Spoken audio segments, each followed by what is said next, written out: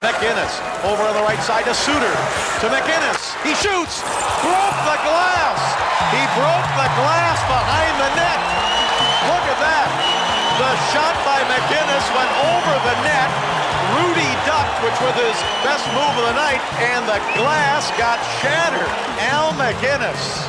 How would you like to be the goaltender standing in front of the net with that shot?